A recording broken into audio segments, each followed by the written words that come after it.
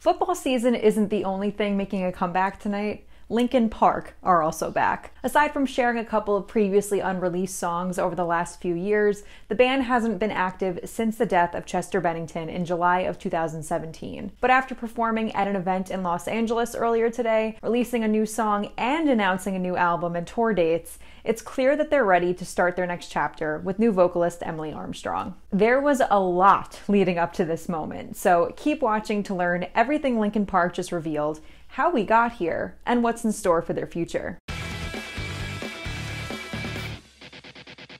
All right, we have a lot to unpack here, and all these details were just shared as the band was taking the stage in Los Angeles. For starters, Emily Armstrong of the band Dead Sara was revealed as Linkin Park's new co vocalist alongside Mike Shinoda. Also returning to the lineup are Joe Hahn, Brad Delson, and Dave Phoenix Farrell. Armstrong isn't the only new member, though, as they've also welcomed Colin Brittain as their drummer, who's known for producing works with artists such as Illenium and One oh OK Rock. They also shared their first song with Armstrong called The Emptiness Machine and announced the details for their upcoming new album From Zero, which will be out November 15th and features a total of 11 songs. Mike Shinoda said of the album, Before Linkin Park, our first band name was Zero. This album title refers to both this humble beginning and the journey that we're currently undertaking. Sonically and emotionally, it is about past, present, and future, embracing our signature sound, but new and full of life. It was made with a deep appreciation for our new and longtime bandmates, our friends, our family, and our fans. We are proud of what Linkin Park has become over the years and excited about the journey ahead. He also said of their new members,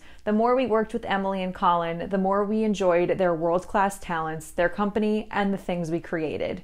We feel really empowered with this new lineup and the vibrant and energized new music we've made together. We're weaving together the sonic touch points we've been known for and still exploring new ones. And we're still not done. In addition to the song and album details, Linkin Park also shared six more reunion concert dates that are set to take place in 2024. So if you weren't one of the lucky fans in attendance at their special show in Los Angeles today, you still have a chance to see them live really soon. The first two concerts will take place in the US, one on September 11th at the Forum in Los Angeles, and the other on September 16th at Barclays Center in Brooklyn, New York. Then they'll play Germany on September 22nd, London on September 24th, South Korea on September 28th, and Colombia on November 11th. Members of the band's Linkin Park Underground fan club will have exclusive access to a fan presale on September 6th, and then the general sale will be held on September 7th.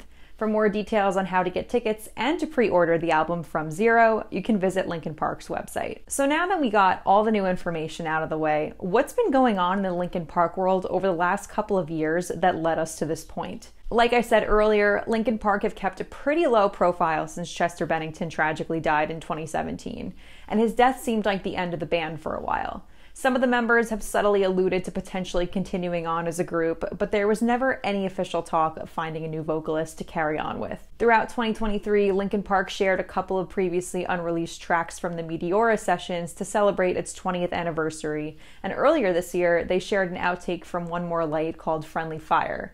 But even that didn't seem to point to a reunion of any kind. That is, until Orgy frontman Jay Gordon said in an interview in early 2024 that he heard Linkin Park were working with a female vocalist. As Gordon's remarks went viral, he quickly tried to backtrack and say that his words were taken out of context, but it was too late. And no, his words were not taken out of context. Fans online already started speculating who the new singer could be, and Amy Lee of Evanescence was one of the first that came to mind. Lee denied the rumor, calling it an incredible compliment, and saying that she'd be open to the idea if she were able to do it part time. Things really started to get spicy recently, though. On August 24th, Linkin Park launched a 100 hour countdown timer on their website and their social media accounts, and it was set to expire four days later on Wednesday, the 28th. During that time, Sum 41's Deryck Whibley teased an announcement of his own for the same day, so many wondered if he would be revealed as their new vocalist. Like Lee, though, Whibley shot down the rumors as they spread like wildfire, assuring that his impending announcement was just related to the book tour he'd recently announced. So it was back to the drawing board while we waited for the clock to hit zero. Except when it did, nothing really happened. The numbers on the timer glitched a little bit and then it started counting back up. So it felt like the band was really just trolling everyone. Some fans realized they would probably uncover something if they left the timer open, though, and realized that there was another glitch animation when the clock hit 9 minutes and 5 seconds, and a few other times later on, too. The next day, Linkin Park confirmed on their social media that something was happening on September 5th with the caption, Be part of something. So we scoped out the band's Reddit page and discovered that members of the Linkin Park Underground fan club received emails with unique access codes for an event that was happening on September 5th in Los Angeles between the hours of 12:30 and 5:30 Pacific time. According to screenshots of the email, there were a couple of restrictions for the event, including an 18 and up age limit, one ticket per guest rule, and absolutely no resales. In order to RSVP yes to the event, fans had to confirm that they'd be in Los Angeles on September 5th. RSVPing yes didn't guarantee a ticket either, but a chance to be entered for one. At this point, we didn't really know what the event was.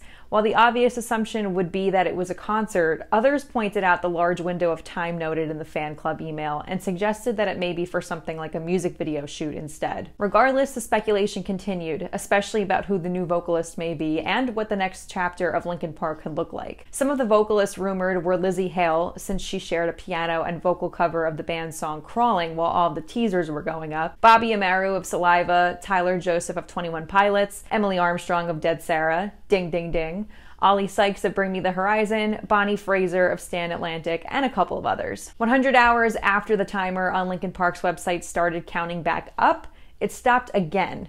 And this time, two things happened. A purple distorted image popped up, and about 20 seconds of audio played.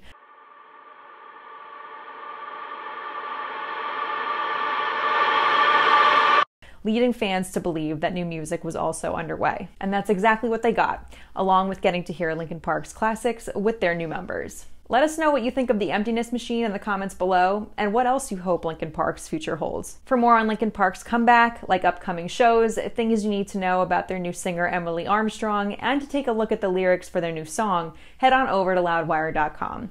And while you're there, check out the campaign line on our merch store so you can get yours in time for the election.